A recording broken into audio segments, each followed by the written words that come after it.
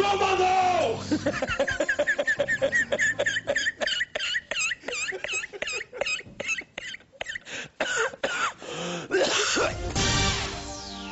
Dilma Rousseff tira a roupa e PIB do Guido Mantega cai 90%.